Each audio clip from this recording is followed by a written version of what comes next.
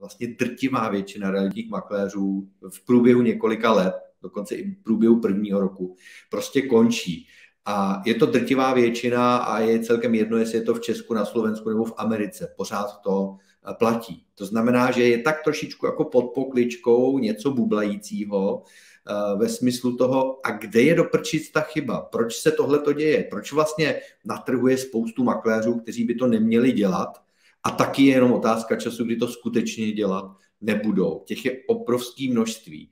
A my se pokusíme v tom dnešním vysílání uh, zaprvé odhalit ty důvody, poukázat na ty chyby, které se dějí a taky najít řešení, vlastně sedm nástrojů pro to nabírání a udržení těch kvalitních makléřů v týmu, protože to, že to není jednoduchá disciplína, to je naprosto bez debat a důkazem je taky to, kolik diváků teď sleduje tohleto vysílání a jak moc to ve vás rezonovalo, když jsme tohleto téma vlastně vypustili do světa a já se pokusím být v některých těch momentech velmi upřímný, protože s tím mám, troufám si říct, podobné zkušenosti jako vy.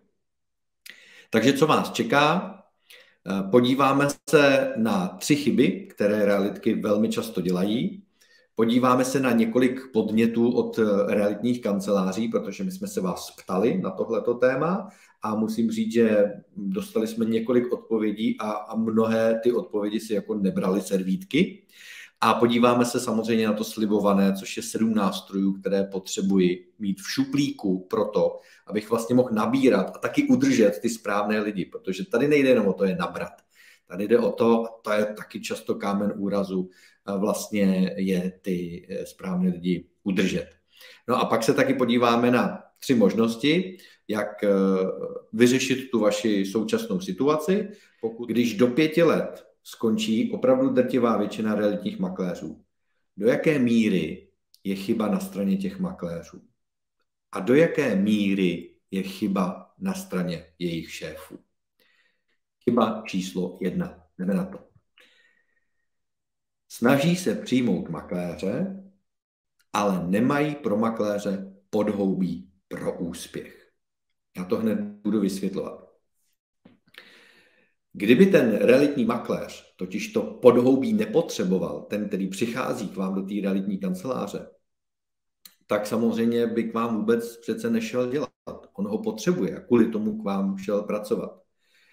A v důsledku potom, vlastně když eh, ten makléř nastoupí do té kanceláře a nemá tam to podhoubí pro tu svoji činnost, aby ji rozvíjel a, a zlepšoval se v tom, tak eh, ten důsledek nebo eh, to, proč se to děje, je vlastně to, že často ten šéf nemá na toho makléře čas, nemá čas se mu věnovat, chybí nějaký postupy, to znamená, on sice se dozví spoustu věcí, ale ale na spoustu věcí se opravdu nedozví, jak má reagovat, co má dělat, co naopak nemá dělat a tak dále.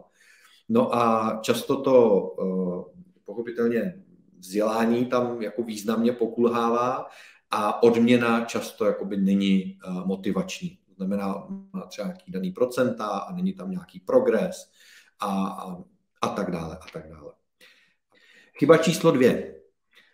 Loví makléře ve špatných vodách špatným způsobem. Je to sice chyba číslo dvě, ale ona je vlastně úplný jako prapočátek všeho budoucího.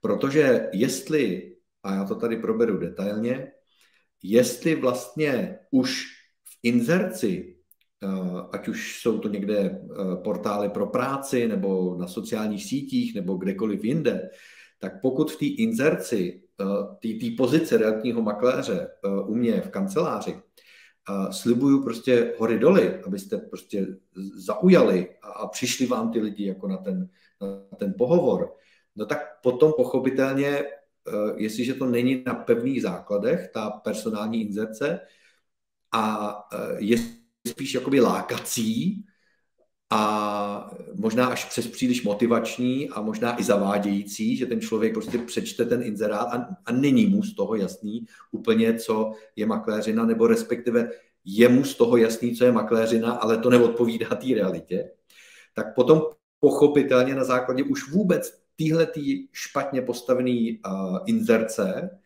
uh, přichází ti špatní lidé.